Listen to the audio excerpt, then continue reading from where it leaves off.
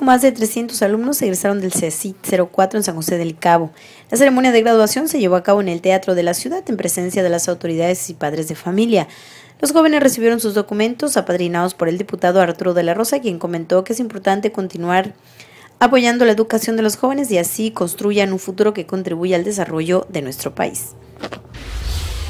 He platicado con muchos de ellos y todos tienen la intención de seguirse preparando, de seguir estudiando y eso de verdad que anima a seguir creyendo, como siempre lo hemos hecho en los jóvenes, porque yo siento que son pues, la generación del cambio, ese cambio que estamos anhelando para nuestro municipio, para nuestro estado y para nuestro país.